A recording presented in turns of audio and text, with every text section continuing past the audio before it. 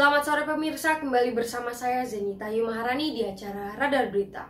Pembangunan Kampung Susun Bayam terdapat 135 unit di kawasan Jakarta International Stadium atau JIS.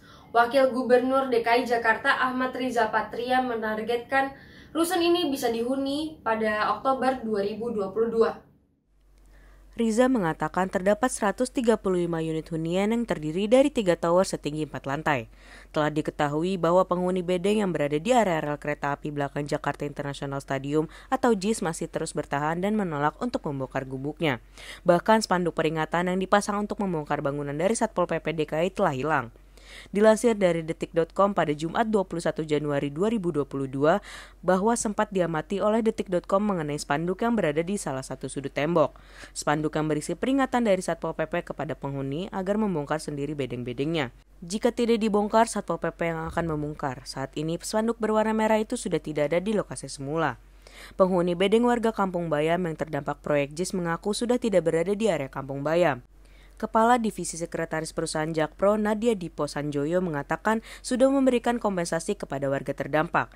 Tambahnya, terdapat jumlah yang dikonfirmasi terkait keikutsertaan peserta Resettlement Action Plan atau RAP yang mencapai 99% dari 642 keluarga yang terdaftar dan sudah diselesaikan seluruhnya atau 100%. Jakpro menyebut pemberian kompensasi yang diberikan dalam beberapa tahap sejak 2020 lalu. Terakhir, uang pengganti diberikan pada Agustus 2021. Mantan manajer dari PT Kimia Farma Diagnostika Sumatera 1 Pikandi Masko Jaya difonis 10 tahun penjara oleh Majelis Hakim Pengadilan Negeri Lubuk Pakam, Deli Serdang, Sumatera Utara pada Kamis 27 Januari 2022 dengan kasus alat tes antigen bekas. Keputusan yang dibacakan oleh Ketua Majelis Hakim Rosihan Juria bahwa hakim menilai Picandi terbukti melakukan kecurangan dengan menggunakan alat swab antigen bekas di Bandar Kuala Namu.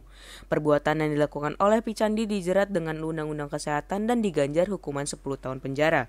Selain itu, ia juga diwajibkan membayar denda sebesar 1 miliar.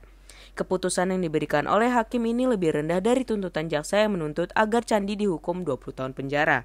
Selain Picandi, Majelis Hakim memfonis empat orang kaki tangannya yakni Sepi Parazi dan Depi Jaya masing-masing dihukum 2 tahun 6 bulan penjara. Kemudian Marzuki dan Renaldo masing-masing dihukum 5 tahun penjara.